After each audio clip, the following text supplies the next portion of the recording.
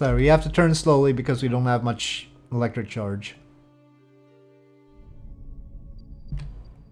Okay, we need to be a little bit further north. Oh no, it's Crashy again. I just want a little tangency with Laythe. That looks good. And we have a safe periapsis. Alright. And it looks in line with everything. Perfect. Okay. We're going in. Yep, there they are.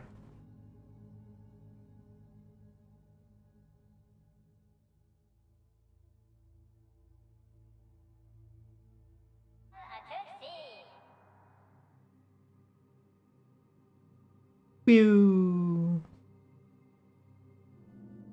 Okay, looks good. 0.2 degree difference with Tylo, but how about Laythe? Oh, that's still our target. Okay. Apparently not big enough. Okay, well.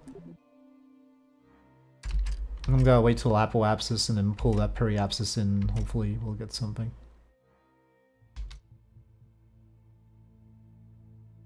That's not too bad right there already, to be honest.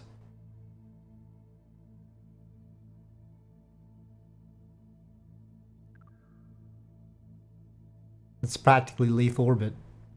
Okay, anyway, we'll do that.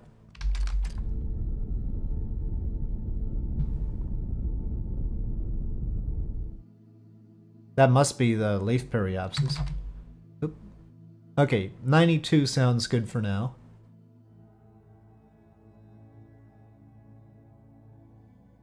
Problem is it's mostly water and we absolutely need to set down on land somewhere. I'm tempted to just air brake, but I don't think it's necessary. I mean, to capture. So, Laythe atmosphere is at 50 kilometers. We'll just try 40-ish.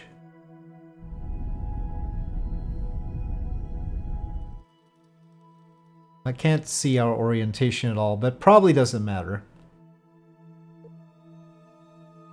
Any old orientation will probably do. Okay, I think uh, we'll try and SAS that a bit. But it takes too much electric charge though. It's gonna be a constant problem. Oh, we're coming down. Oh no! It's too much! No! I can't even see where we're gonna land. Okay, we're, we're going back up, but then we're gonna come down on the nighttime side, so we're probably gonna want to come down here instead.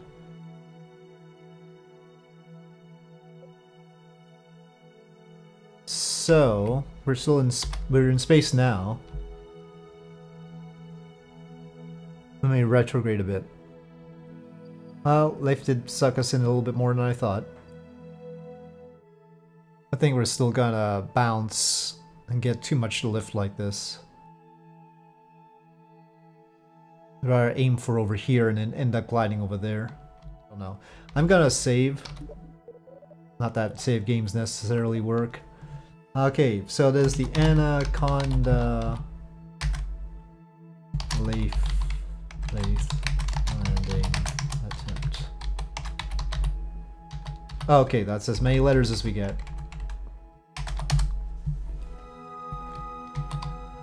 SAS. There's ever a time. Please don't run out of electric charge, though.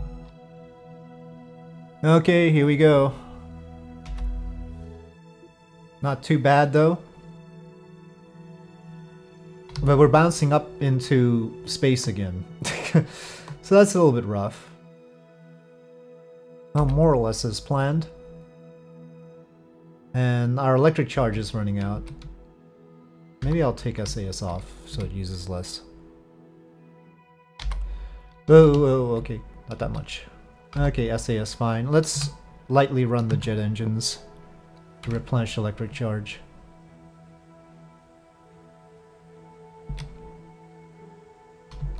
Last time I tried to land on the beaches of Laythe didn't go super well.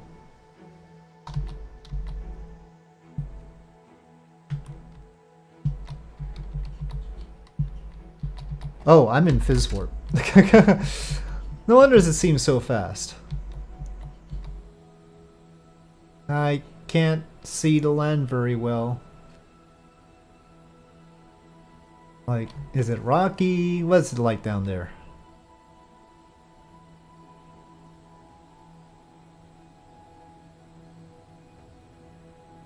There's some misty layer here. Doesn't look particularly inviting right now.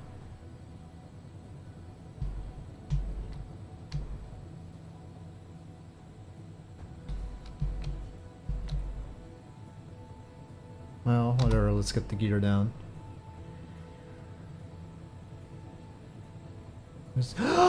no!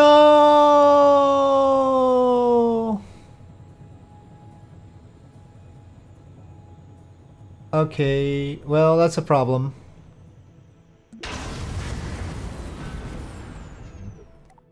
Okay, so like, maybe we'll drop the landing gear later. Is there any way to save this? I mean, I always have this landing gear deployment wing ripping off problem around Laythe anyway. Like some special problem.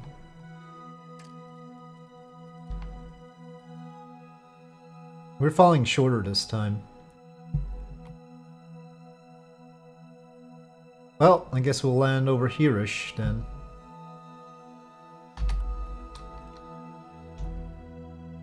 I'm not used to it. When we transition from space into the atmosphere, I'm used to it going to 1x time warp immediately. But what it does is it actually goes to the top level of phys warp instead. Or, you know, the 4x. That's not the behavior I'm used to from KSP1, that's all.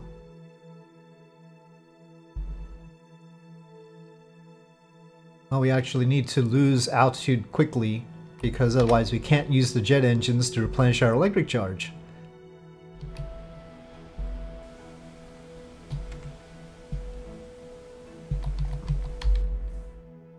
It's only a thin strip of land we're going for here. This seems bumpier. Maybe on this side.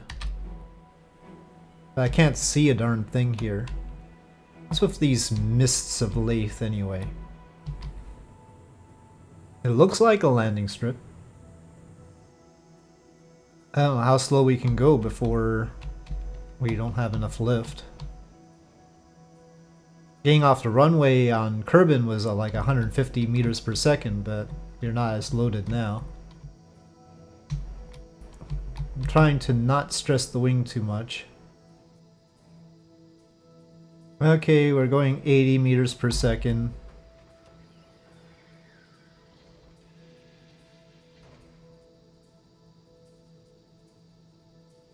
Uh, maybe we have both of our wings permanently.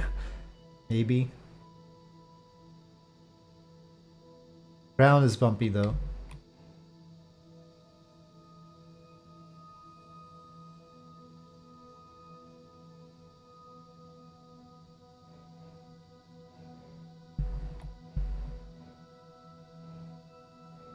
Uh, I don't like this. There's a hill.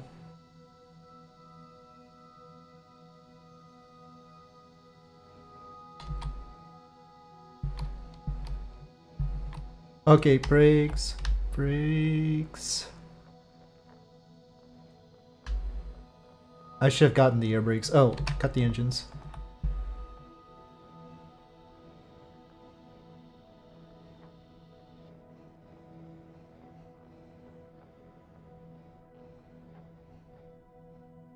Okay, um, this is not exactly a runway. How are we gonna get off of this? I propose we take this curve here and then we try and take off like that, but then that's the wrong direction. Well, it doesn't really matter where we're going prograde or retrograde around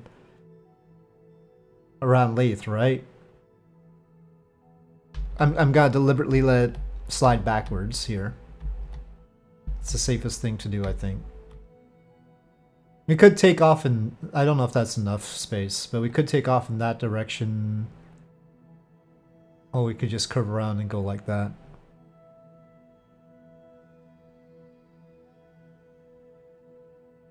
Um, let's try this way. and try and hang a right.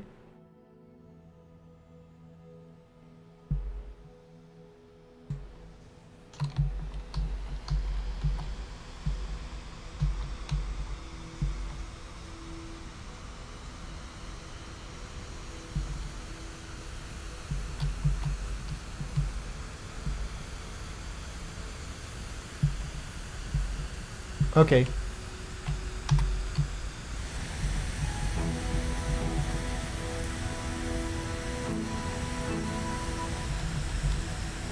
I'll have to activate it like this.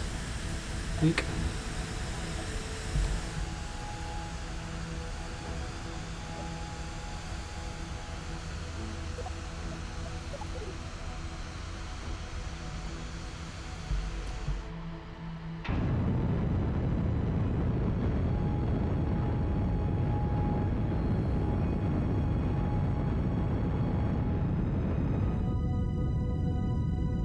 Let's just cut there and coast a bit.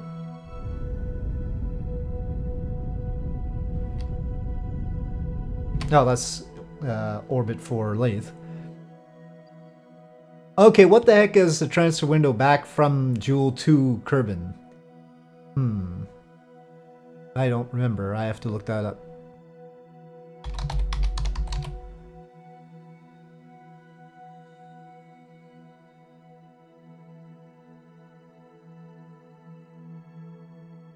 It is 48 degrees. Uh, Kerbin is behind Jool by 48 degrees. Do I dare turn to the tracking station or should I time warp with it here? Well, it's time warp restricted though. Okay, um, we're saving again. And we gotta find out whether time warping in the tracking station is gonna cause some problem. So far, so good though. Maybe we should evaluate this version of KSP a little bit better. Though I've had problems with the mock career playthrough thing. Let's see, tracking station. And it still has the problem where if you go, to, uh, if you add a vessel and then you go to the tracking station, it keeps the time warp the same as we had, the time restriction the same as we had with that vessel, even if we change focus. So we actually have to go to the Space Center and then go to the tracking station. That should be okay. Uh, so we'll wait uh, until Laythe is over here would be good. Just go right out.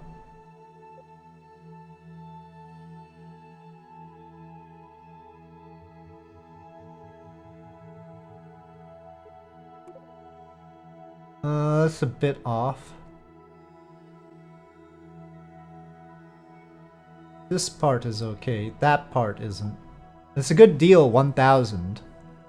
But maybe we should do it as a two-step just to show that we can. I'm taking advantage of Laythe uh, gravity like this and getting there quick. Uh, the second maneuver never works. Um, but maybe we should just break orbit and then figure it out.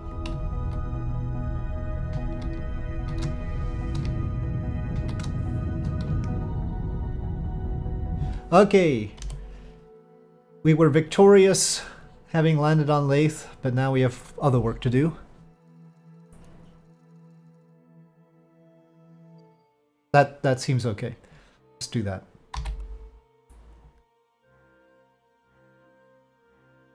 Any encounter is better than no encounter.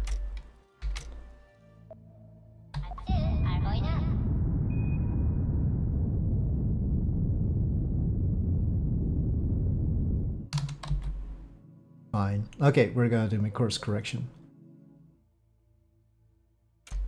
Oh, okay. Uh, okay, that's the, okay, okay, it looks okay. it looks okay.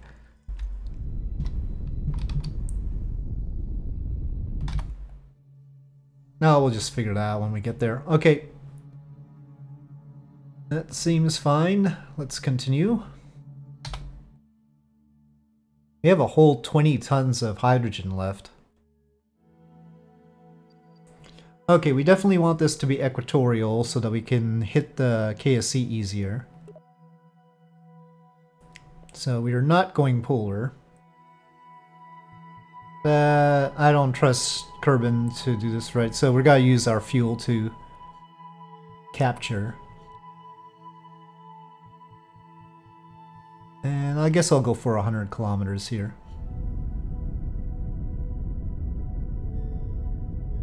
Oh, that's probably a little bit higher than I wanted.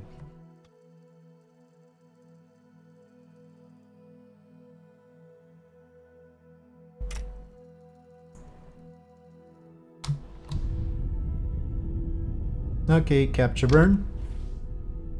As we sure don't need the fuel for anything else.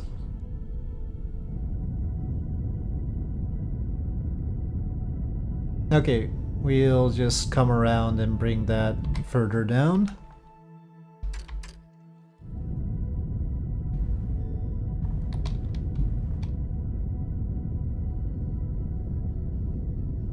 Okay, that's good enough. But we have to wait. The Space Center is in the dark.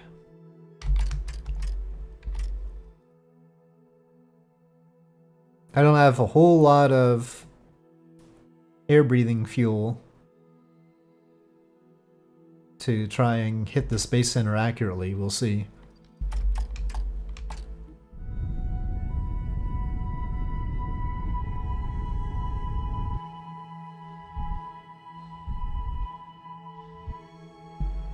Okay, why are you doing that? Don't do that. Down, down, down, down, down.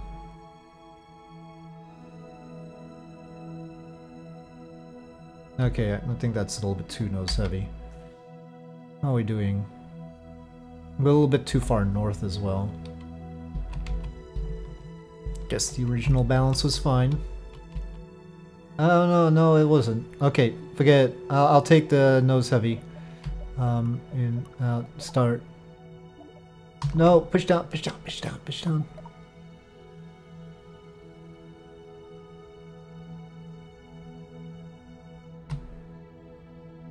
Not violently.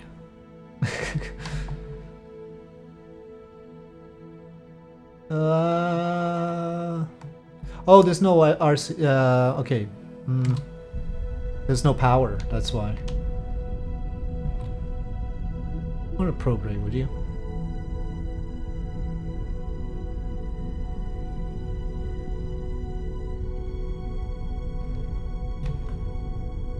Just on the verge of triumph. Of course, this has to go crazy.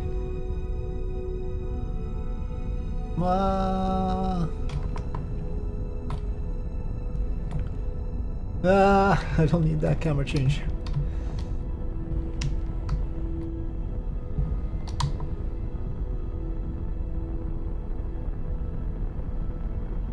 I don't want to be upside down.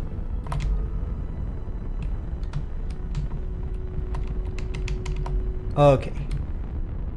That's better.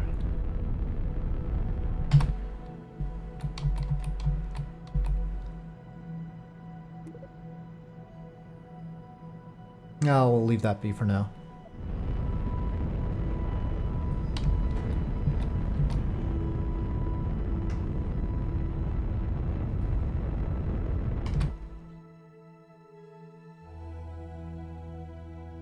Please start going down.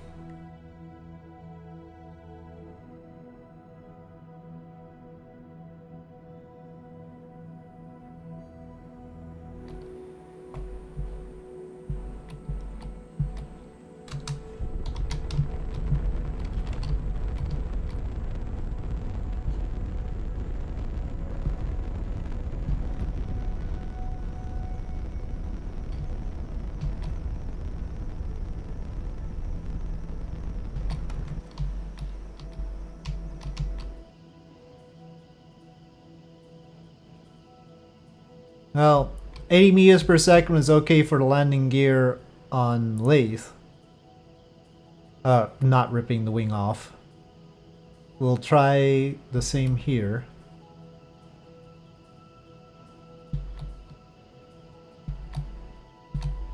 Okay, landing gear.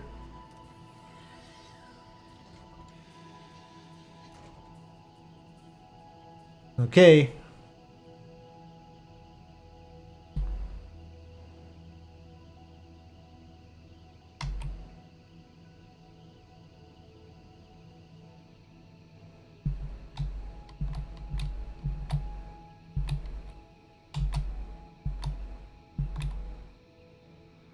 Brakes.